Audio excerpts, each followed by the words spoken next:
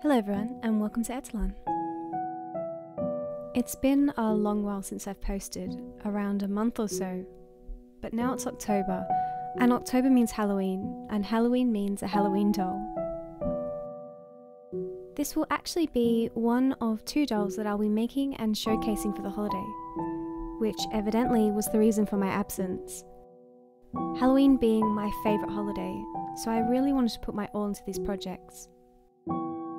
For this video in particular, I'll be starting out the spooky season with this doll called the Physician. So let's get started.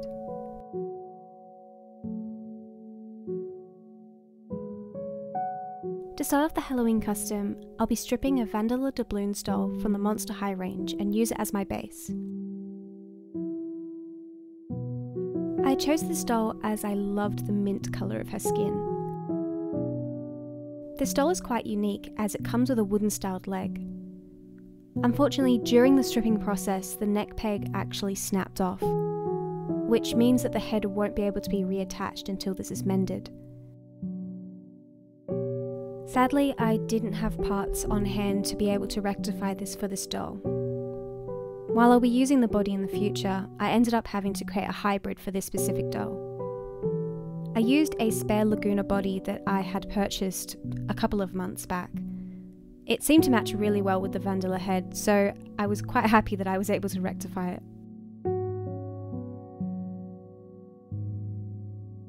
With 100% acetone and a cotton swab, I removed all factory paint from the face and head. I created an incision in the back of the head to remove the hair plugs as well.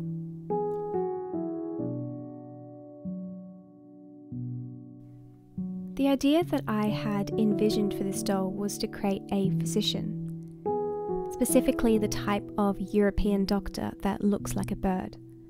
The name of which, during editing, I realised I can't actually say the word on YouTube apparently, as it violates community guidelines.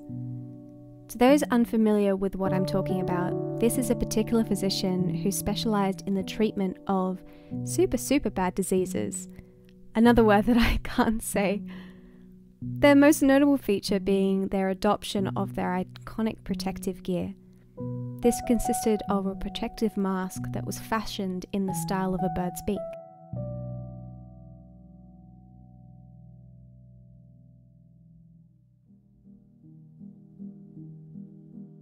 In starting this doll, the first step that I had was to develop her face.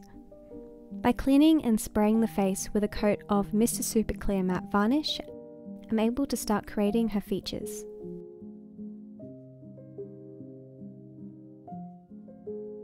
The pencils that I'll be using to create her face are the Albrecht Dürer Faber-Castell watercolours. The idea that I have for this doll is for her to be a spirit in a way. I drew a lot of inspiration from Patrick McHale's Over the Garden Wall Tim Burton's Corpse Bride, as well as artists like Jim McKenzie. I love the blend of the occult in character designs, so I wanted to make sure this was replicated in my own design.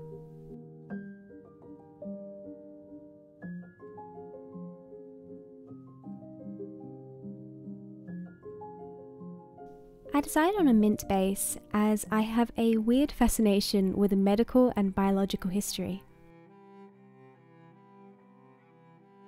I always find myself binging Mütter Museum's channel, looking at scientific illustrations and listening to medical podcasts.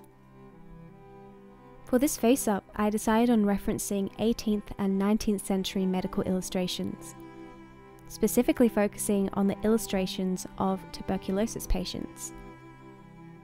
I wanted to use this as reference as during the time the disease was romanticized and influenced female fashion and beauty standards within Europe and America.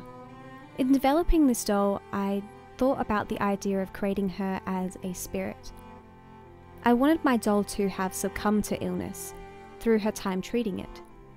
The mint colour of the base will give her a ghoulish nature to her skin, similar to Emily's in Corpse Bride.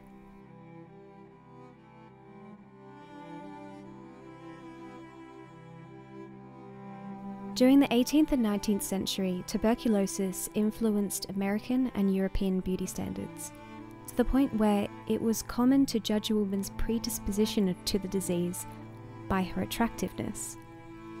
The disease heightened already established beauty standards at the time. Pale, translucent skin, sparkling, dilated eyes, red lips, rosy cheeks, delicate nature. Consumption chic, as it was titled. It's pretty insane to think that beauty standards were influenced by disease, but it's not the first time that it's happened, and I don't think it's going to be the last. In developing her facial features, I went with a light mix of blue and pink. I used soft pastels and makeup brushes to blend in the colours into her face. I also used a shimmer to give the skin a glimmer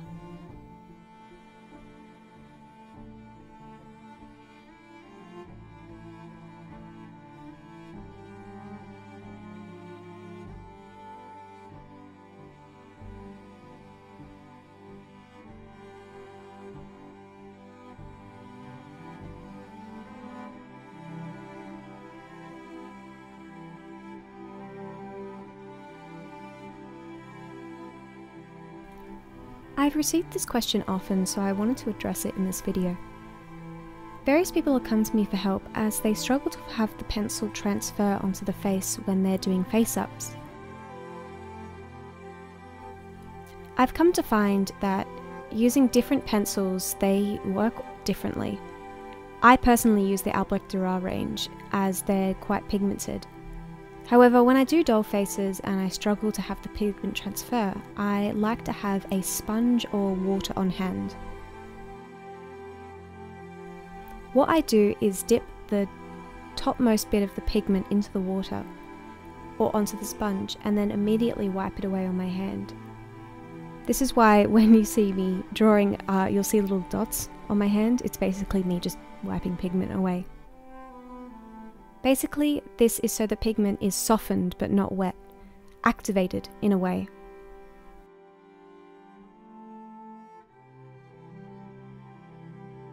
I've seen other artists actually lift the pigment completely from the pencil itself and paint faces with a paintbrush. I think when you're doing doll faces, it's always fantastic to use different techniques and just kind of see what works for you. While this works for me, um, maybe painting with brushes might be even better for you. I think that all techniques are valid and it's always good to explore different kinds of things. This is just something that I've found that helps.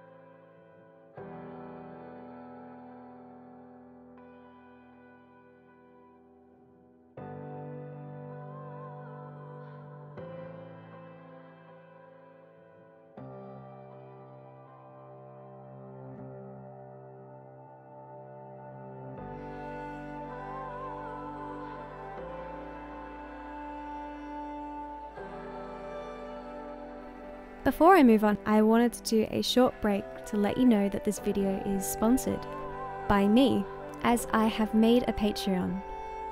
I truly love what I do, and I love showing my work to you all and how I make dolls. Patreon is a great way to support the creators that you like and the content that you love. If you'd like to support my journey and my creations, I'll leave a link to my page in the description below. I would truly appreciate it if you checked it out or just if you thought about supporting me, it would truly mean the world. Now back on with the video. In creating the bird mask, I was able to actually get a file from Thingiverse. I printed it on my 3D printer and modified it with some milliput to fit to the doll's head. If you're curious at all, I'll leave a link to the file in the description below if you yourself want to have your own mask. I based it with a layer of Games Workshop Citadel Gracia, this helps in unifying the colour and allowed me to build highlights and lowlights later on.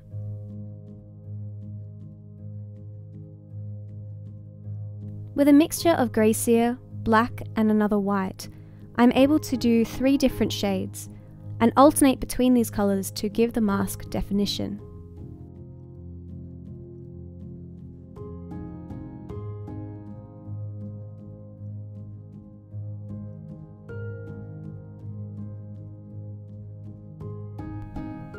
These doctors' masks were fashioned in a style of a bird's beak. Why they did this was so that they could fill the beak with strong smelling substances rose, mint, juniper berries, and most notably for my doll, lavender. During the height of this style, there was a misconception within Europe and Asia that diseases were caused by a thing called miasma. Miasma basically means bad air that bad air and bad smelling things would cause disease, where unfortunately that wasn't the case during the time that this mask was used. They believed that by filling the mask with sweet and heavily scented substances, it would protect someone from bad air and would render the doctor safe from disease. For my doll's mask, I decided in incorporating this kind of ideas by painting lavender all over the mask. These doctors are relatively scary in appearance. Over time, they've kind of had a Grim Reaper like idea in pop culture and throughout history. While my doll will be a doctor and a physician, I took reference from people like Jim McKenzie, Tim Burton, and Over the Garden Wall in creating a blend of sweet and occult.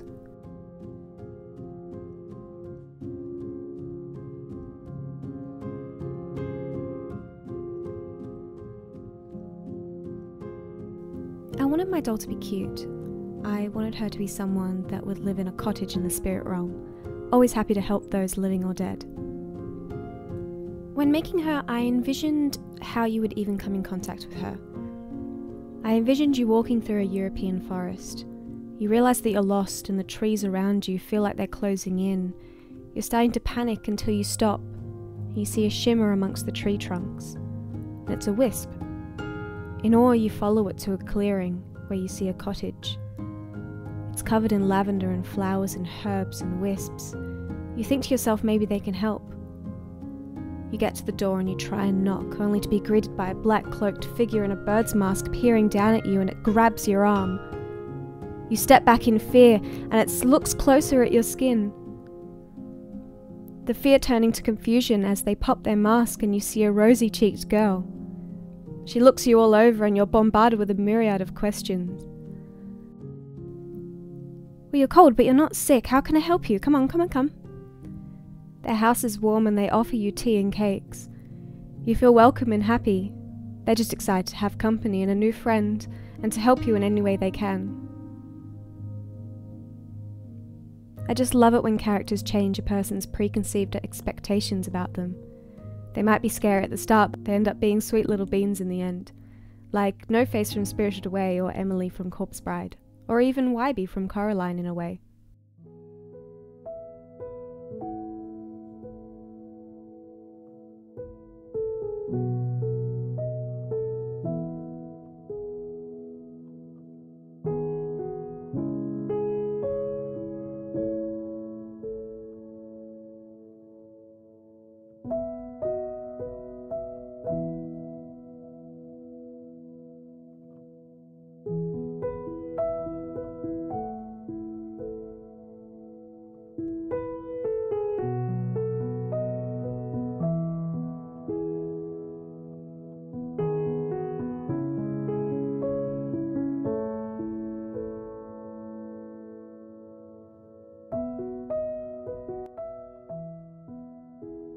For her hair, I decided on using 100% acrylic yarn in a silver colour. I made yarn wefts by wrapping yarn around a chopstick and brushing them out with a dog brush. Typically, when you make yarn hair, you straighten out the fibres afterwards, but I opted not to do this as I loved the natural wavy texture that came when I brushed out the fibres. I thought it was really, really cute. Using PVA glue, I glued these fibres to her head.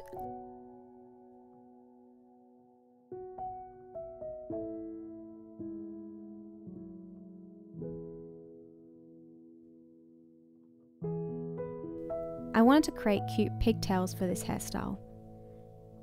In making a pigtail design, I glued wefts along the centre of the head and then flipping them back onto themselves for a clean glue-free edge. Always questioned why I add pins to the wefts when I'm putting them in the vinyl. Apparently, it's not a common technique. I'm always happy to explain why I do certain things, um, so if you're ever curious, you can just leave a comment below, and hopefully, if I see it, I will try and um, reply to it. While I do add the pins, I will be removing them within 20 to 30 minutes of adding them. I typically only do it when adding the wefts as they have a tendency to slip due to gravity. I add them to keep the wefts in place until they dry. I also, however, add pins along the hairline or parting wefts as they allow the glue to do a straight line stick.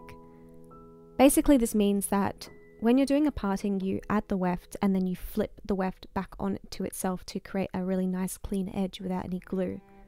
Adding pins along the glue line will make it so that when you flip the weft back, they will have a really nice, clean parting, very similar to how your hairline is.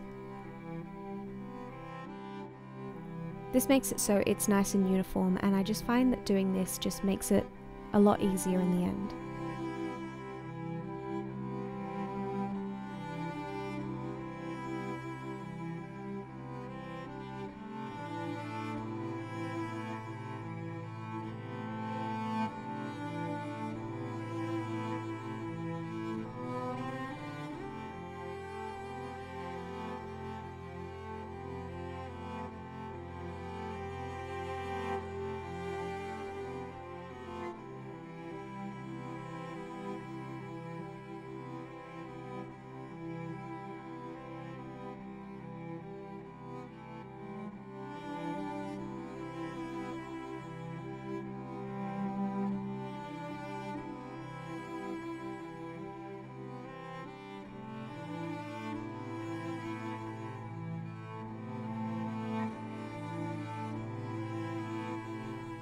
I decided on making braided pigtails for this hairstyle.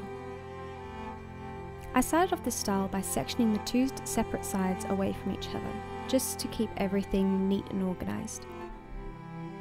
I braided two front sections leaving plenty of curly hair out for the fringe.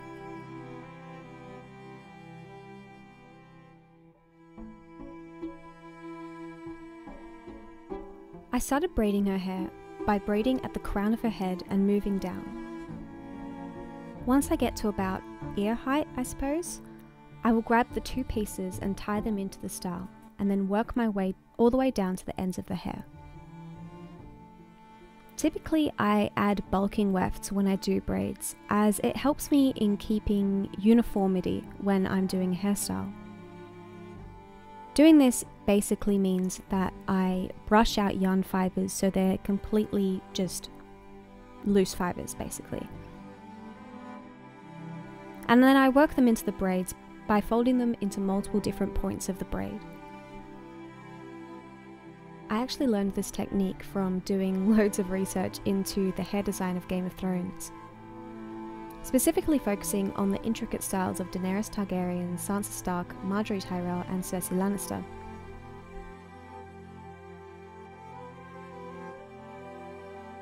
I love that when you watch the show, you can see character motivations and story through how their hairstyle is.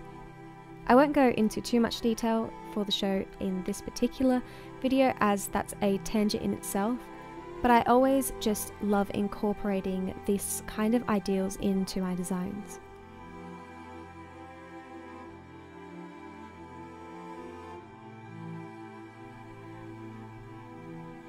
I originally was going to have quite puffy pigtails for this hair, but I found that it ended up covering the clothes later on, so I opted to do braids instead. Once I get to the bottom, I tie it off with a mini elastic.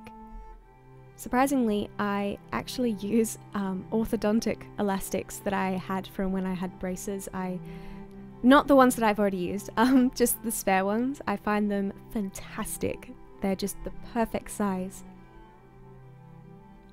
Once I was happy with the style, I wet a toothbrush and laid down any flyaway fibres.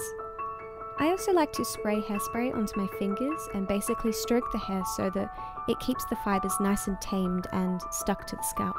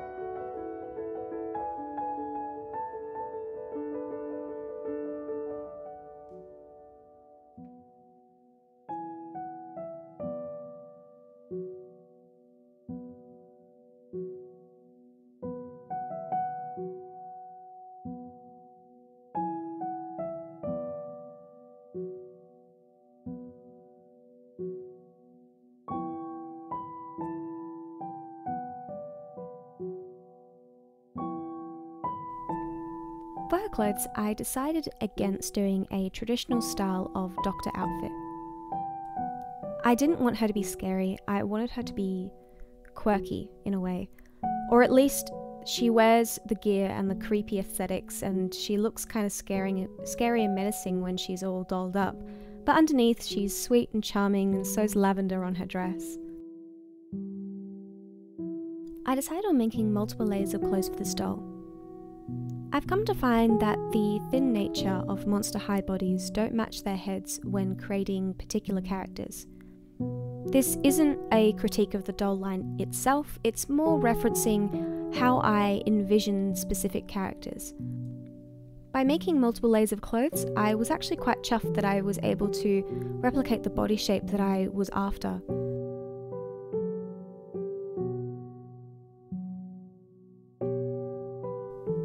Created a white puffy skirt dress that will go underneath the silver petticoat. On the petticoat, I made sleeves that actually open up, so when she bends her arms, the white dress will be seen underneath. This was purely an aesthetical choice, as I've been playing the early access of Baldur's Gate 3, and I love the character Astarion's sleeves.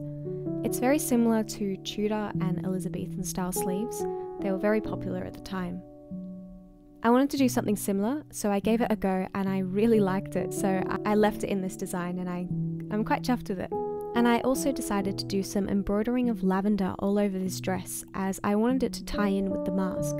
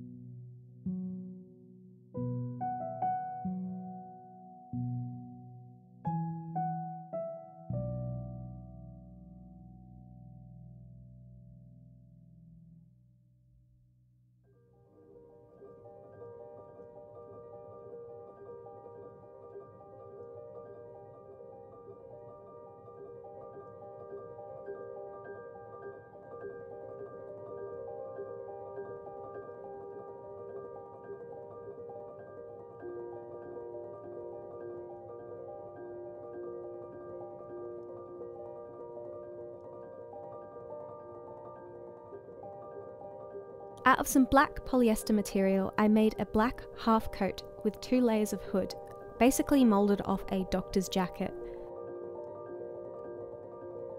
They were known to wear black coats and hoods and hats and masks.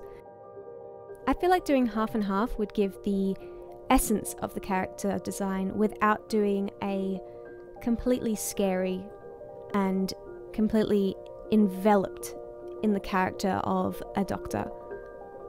I hope that that makes sense. Basically, I wanted it so that the doll is wearing the clothes, not the clothes is being worn by a doll. I, I hope that that makes sense. I also paired this with some black Monster High doll boots. I have no idea what doll these belong to, unfortunately, as I just kind of found them in my drawer. I, I thought they matched perfectly for this doll. I decided on calling her Lavender for obvious reasons. Once she's assembled, I am able to take her photos. So I'd like to present my doll, Lavender the Physician.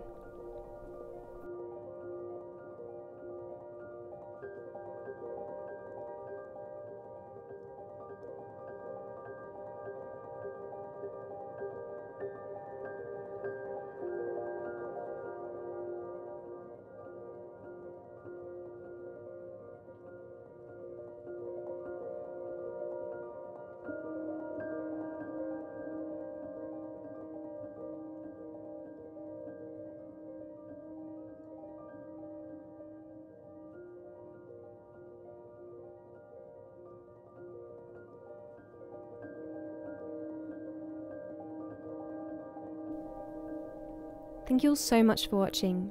I'm truly so grateful for you checking out my work. If you'd like to support me and see more of my stuff, make sure to hit that subscribe button below and leave a comment letting me know what you think. If you'd like to support me further, hop over to my Patreon and check it out. Happy Halloween and see you in the next video.